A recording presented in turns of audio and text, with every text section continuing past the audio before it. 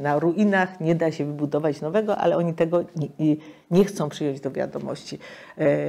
Tradycja jest tym, co dla człowieka jest, powiedziałabym, pokarmem, tak? jest, jest napojem jest jedzeniem bo jeżeli człowiek dobrze nie jest ukorzeniony w tradycji, to tak naprawdę nie wie po co jest. I jak nie wie po co jest, to nie wie też dokąd zmierza. Tak?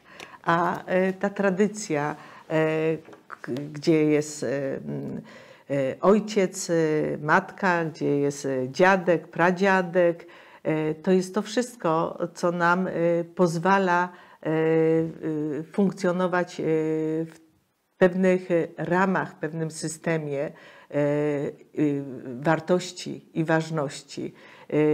I tego przykładu, którego się uczymy od naszych przodków, który jest istotny po to, żebyśmy kolejne pokolenia potrafili ukształtować i mieć pewność, że jest ciągłość. To jest szalenie ważne, żeby wiedzieć, że jest ciągłość pokoleniowa, ciągłość zadań, ciągłość obowiązków. Co jest zaletą tej książki? To jest to, że wypowiadają się osoby, które mają autorytet dorobek, które są sprawdzone i które już mają swoich słuchaczy. To jest profesor Andrzej Nowak, który jest niekwestionowanym autorytetem naukowym i moralnym.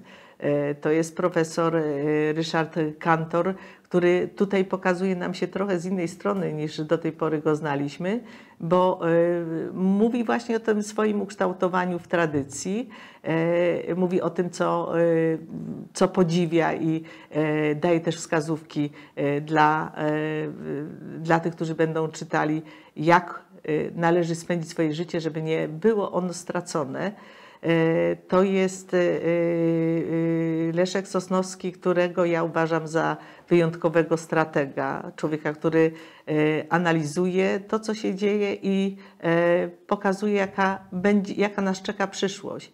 Daje nam informacje i hipotezy, ale które są absolutnie oparte na, na danych, na prawdzie. Daje nam możliwość wyboru, pokazuje drogi. Jest też y, y, pani Jola Sosnowska, która zna y, działalność, zna życie, zna dorobek Jana Pawła II, naszego świętego, naszego największego Polaka przecież.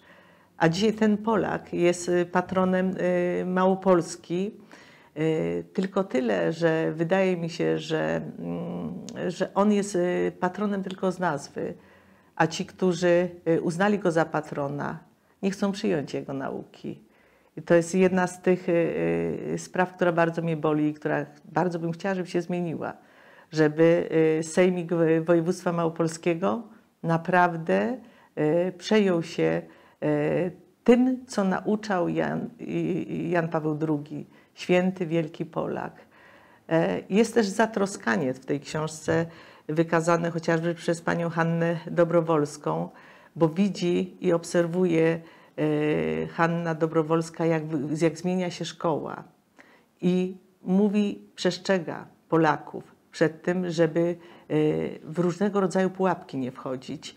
E, pułapki, które są oszustwem, przestrzega przed tym oszustwem, daje też odpowiednie rozwiązania i recepty dlatego też y, y, myślę, że ta książka, która jest jeszcze okraszona pięknymi zdjęciami wielkiego artysty Adama Bujaka, to, to, są, to daje to, taką niezwykłość tej książce, bo jest przekazem spójnym, spójnym w słowie, spójnym w obrazie, a przede wszystkim ta książka jest Y, jest takim, taką wielką troską y, o Polskę, o przyszłość, o młode pokolenie.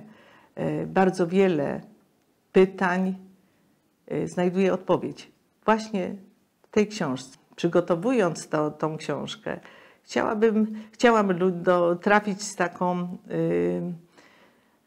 z taką informacją do rodziców głównie, że Nie ma nic ważniejszego niż troszczyć się o młodego człowieka, ale nie tylko w takim kontekście rodzinnym, ale również społecznym i w takim zadaniu polskim. I wydaje mi się, że poprzez dobór tych autorów i troszeczkę tych moich wspomnień czy też rozważań jesteśmy w stanie poruszyć do głębi serca tych, którym naprawdę zależy na dobru, na przyszłości swoich dzieci.